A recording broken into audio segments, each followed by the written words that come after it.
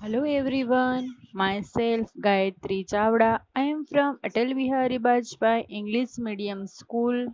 This video is for Standard 5th, Unit 3 Festivals the Colors of Human Life. Today we will going to learn Activity 2A. The present generation, especially the young the present generation make more use of cell phones and computer. Therefore writing to letters friends and relatives is gradually forgotten. Here two pen friends Bharat and Jamshed exchange letter describing how they celebrate their new year day. Read and enjoy the following personal letters आज के ज़माने में बच्चों को phones और computers पे ज़्यादा होता है, जो मैसेज करते हैं ईमेल करते हैं वीडियो भेजते हैं। उसकी वजह से लेटर के जो होते हैं ना, पहले के ज़माने में जो लेटर लिखते हैं ना, उसका अभी वैल्यू कम हो गया है। यहाँ पे दो पेन फ्रेंड्स यानी कि जो एक दूसरे को लेटर लिखते हैं। पेन फ्रेंड्स यानी a person with one builds a friendship by exchanging letters यानी कि एक दूसरे को लेटर लिखे ऐसे फ्रेंडशिप होती है। Now we will read this here festivals happy time together festivals यानी हम सब इकट्ठे होते हैं और एंजॉय करते हैं। यहाँ पे लेटर कैसे एक दूसरे को लिखते हैं, क्या लिखते हैं, उसके बारे में बताया गया है। First we will write the address यहाँ पे पहले एड्रेस लिखा जाता है।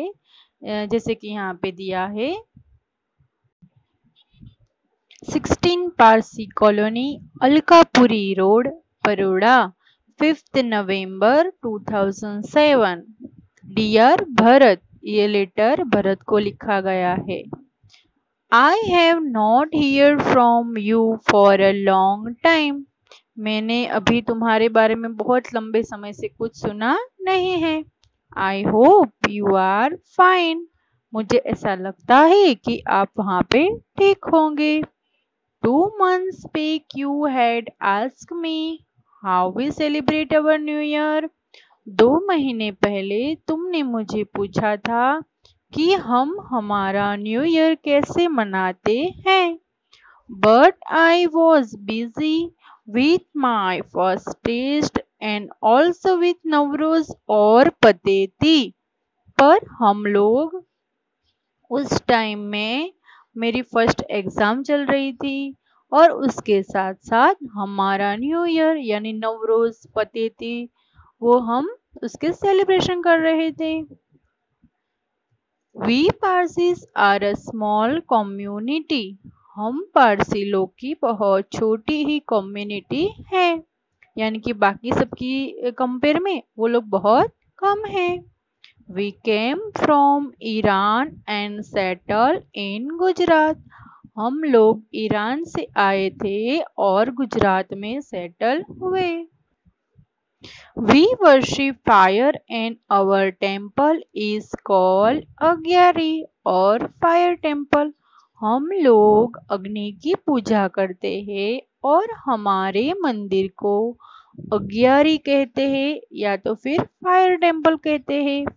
we offer sandalwood sticks to the sacred fire and recite prayer. हम लोग फायर करने के लिए सैंडलवुड यानी चंदन की लकड़ी का यूज़ करते हैं और फिर प्रेयर गाते हैं। Man and children cover their head with small caps and woman cover their heads with sari जो जेंट्स होते हैं बॉयज़ होते हैं, वो अपना सिर छोटी सी कैप से ढकते हैं और वुमेन्स अपने सिर पे साड़ी से ढकते हैं। We all greet and we साल मुबारक टू ईच अदर हम लोग एक दूसरे को शाल मुबारक बोल के विश करते हैं। On Pateti everyone wakes up early Pateti के दिन सब लोग जल्दी उठ जाते हैं। Gets ready and wears new clothes. और जल्दी उठ के रेडी हो जाते हैं, नए कपड़े पहनते हैं।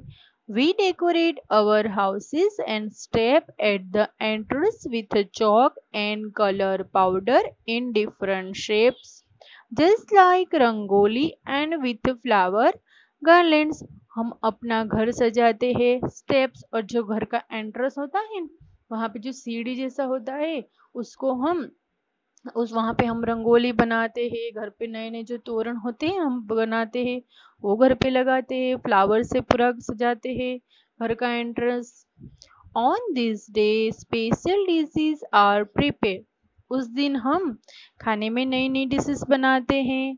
Parsis food is very delicious Parsi का जो फ़ूड होता है, वो बहुत ही स्वादिष्ट होता है. We prepare rava from suji milk and sugar and decorate a variety of dishes with fry almonds and raisins.